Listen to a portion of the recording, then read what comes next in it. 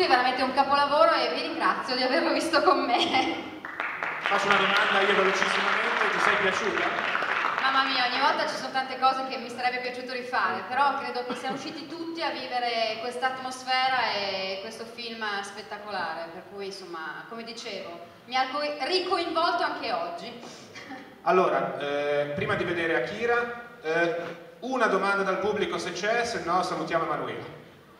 C'è una domanda?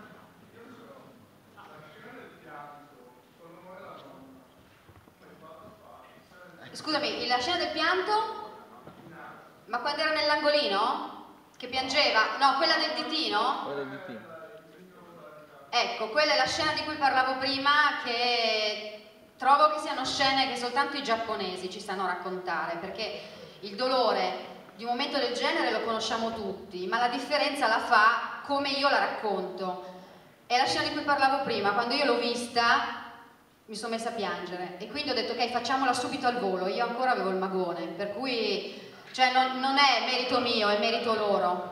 Cioè veramente talmente, quando tu la vedi non riesci a capire cosa succede, sei dentro, piangi, cioè sono contenta che si sia sentito. Grazie Manuela per aver fatto. Tra 5 minuti inizia a Grazie ancora.